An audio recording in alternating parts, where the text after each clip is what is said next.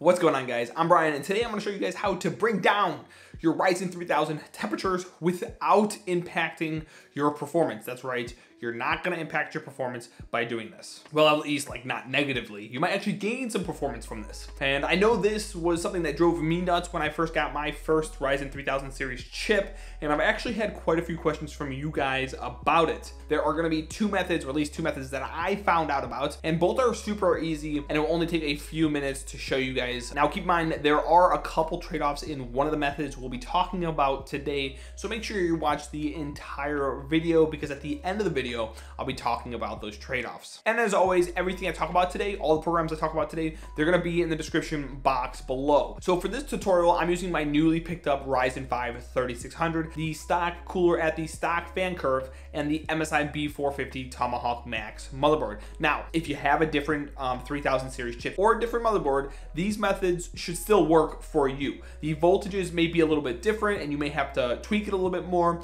but you should still be able to improve your temperatures with the methods we go over today. So the first thing we're gonna wanna do is get a baseline, something that you can use to compare before and after we make our modifications. And in particular, we're gonna want a temperature baseline. Well, of course, that's what we're trying to lower. And then also a CPU benchmarking score of some sort. I like to use HW Info um, to record and track the temperature, and then I like to use Cinebench R20 um, to get us a CPU benchmarking score that we can track as we go through the motions. And as I just said, the reason why we're gathering this data is to make sure our temperatures are dropping while our performance is either staying the same or at least going up a little bit. All right, so along with the programs I just mentioned, so that's Cinebench R20 and then our HW Info, you're gonna also need a stress testing program for the second method we talk about today. And I like to use AIDA64. All the programs are free except AIDA64, which has a free trial period. It's like 30 days, so you can just download it for this and then you can just delete it. And as I said before, all of the links will be in the description box below to help make your guys' lives a little bit easier. Now, after downloading all of the programs I just mentioned, go ahead and open HW Info, click yes on the permissions window pop up, then hit the little checkbox that says sensors only, and then hit run. This screen is gonna pop up, and what you're gonna wanna do is you're gonna wanna scroll down until you see the part of program that says CPU TCTL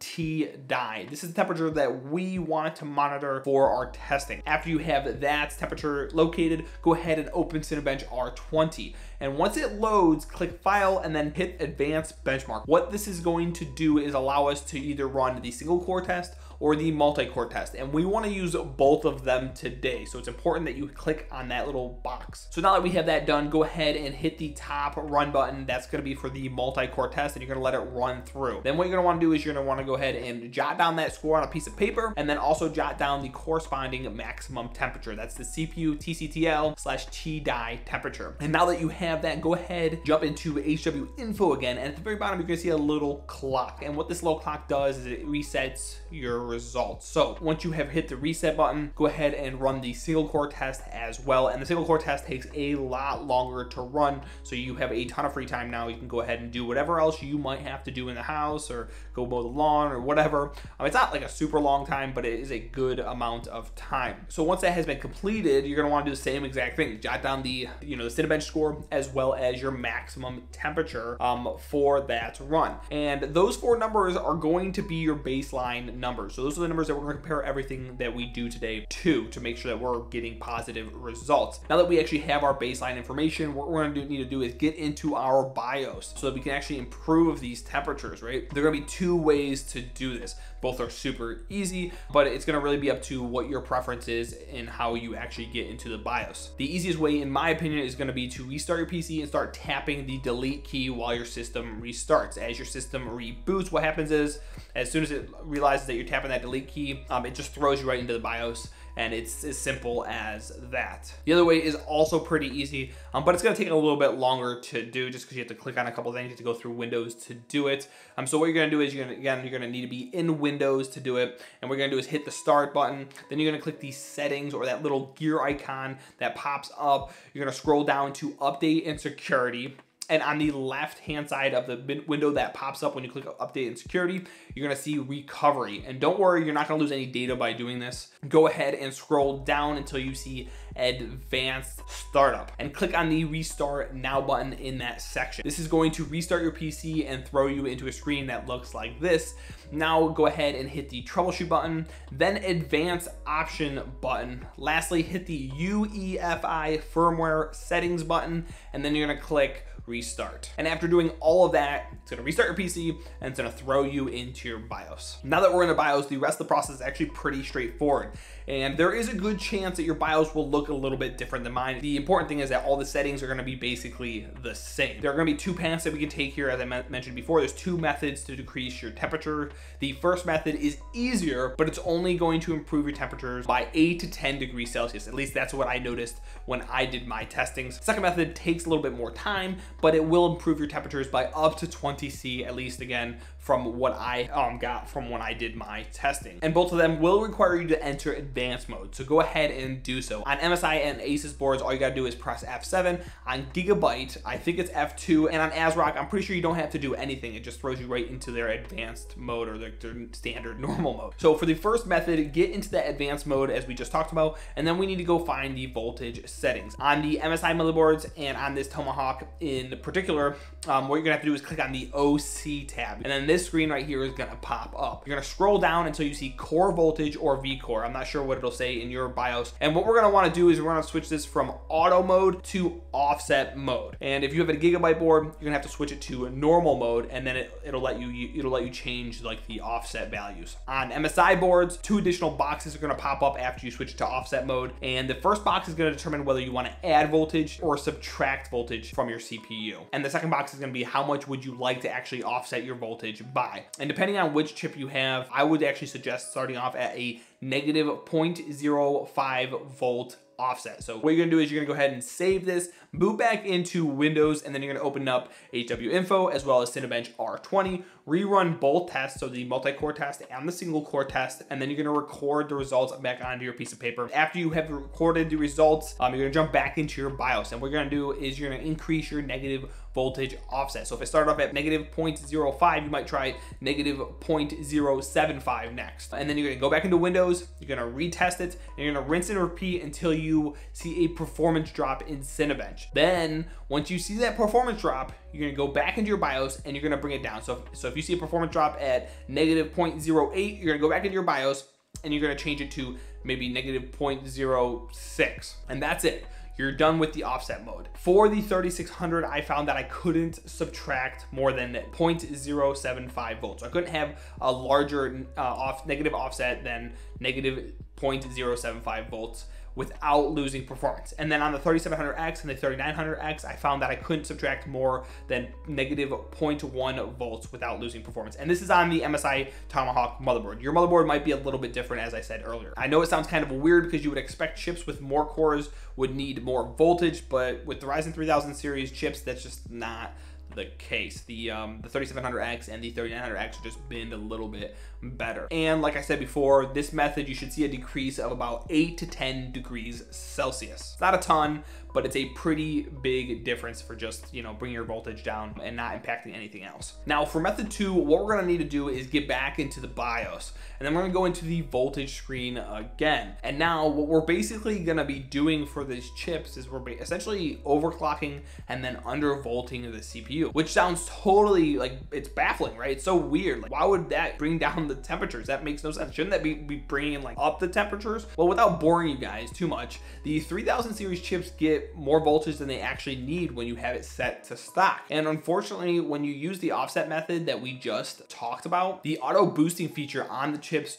will basically start freaking out if you give it too high of a negative offset. So like for me, the 3600 started freaking out when I had a negative 0.1 volt offset. The performance totally tanked. And so it'll keep the chip from boosting higher and then you end up losing performance, which is exactly what we don't want. We want to bring temperatures down while keeping the, as much performance as we can, or even maybe even bringing the performance up. To prevent this, what we basically need to do is overclock your chip while bringing the voltages down to where they should be. And all we really need to do is worry about two settings, and that's gonna be your CPU ratio and your core voltage, um, which we already messed around with if you did the first method. And what we're doing is setting them to static values. So what you're gonna need to do is you're gonna find your CPU ratio, and then I like to start at 40, which is four gigahertz. Then you're gonna scroll down to your core voltage and you're gonna switch it to override or manual mode instead of offset mode. And I would recommend starting your voltage off around 1.25 volts, and then you're gonna work your way down. So you're gonna bring it down to 1.2 volts, 1.15 volts, and so forth. So once you set your CPU ratio to 40 um, and you set your core voltage to 1.25 volts, go ahead and save your BIOS, exit it, and then go back into Windows. You're gonna open up HW Info, run Cinebench R20 single core and multi-core tests, and then you're gonna record all of your data. After you recorded the data that you need, go back into your BIOS, lower your voltage by 0.01, and then you're gonna rinse and repeat until your PC doesn't load or it crashes or reboots during a test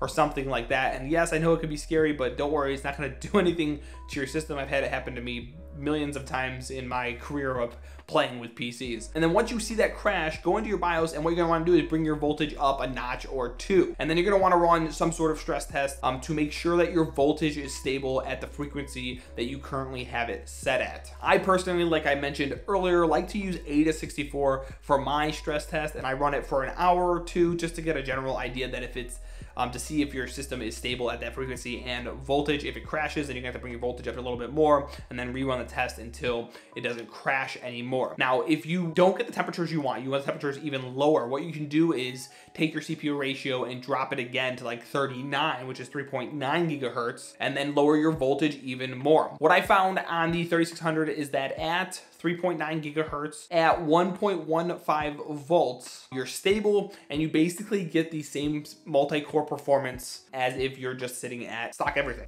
And on top of all that, on top of all that good stuff, your temperatures drop about 20 C. And that's with the stock cooler, which is crazy. But then this actually leads me to the trade-offs I mentioned earlier. There are trade-offs by doing these methods, right? Method one has literally no trade-offs that I could actually think of. I really don't know. If you if you can think of a trade-off for method one, let me know in the comments below because I did a lot of testing on it. I didn't have a trade-off other than you can't keep lowering your voltage, which sucks. But method two does have a couple. If you've been following along during this video and you've been recording all the tests that you've been doing, um, you may have noticed the first trade-off, and that's that you're gonna be losing single core performance when you're using the second method. Well, the question is, why do you lose performance?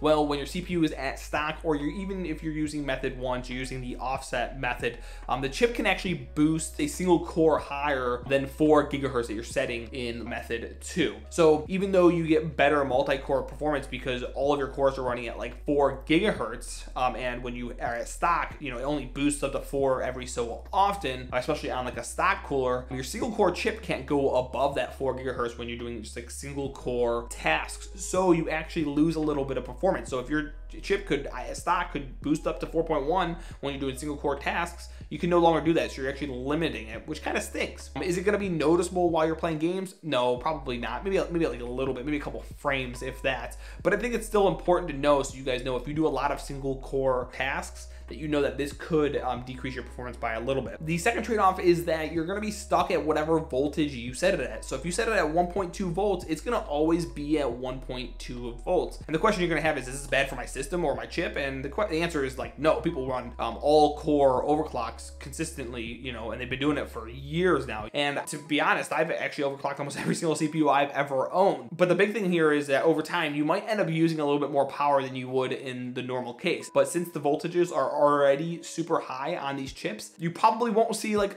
using more power over time, but I still felt it was kind of worth mentioning to you guys. If you guys have any other ways to improve your temperatures without swapping out your CPU cooler to like a better CPU cooler or sacrificing performance, please let me know in the comments below. I'm really curious because this is like a pretty important topic in my opinion. You know, there's not a lot of information on how to bring your temperatures down without getting a better CPU cooler. And not everybody has the ability to get that $100 all-in-one water cooler. So I think this is a frustrating topic for a lot of people. So if you have any other ways to bring your temperatures down without sacrificing performance, I think everybody here that's going to be in the comments for this video are gonna really appreciate it. I'll also be throwing all my findings that I had for the 3600 in the description box below so you guys have them for reference. If you guys found this video helpful, please give me a solid thumbs up and consider subscribing for more tech content just like this. If you wanna see more of my content that I have out there, um, I'll be putting some videos up right here for you guys. Thank you guys so much for watching and I'll catch you in the next one.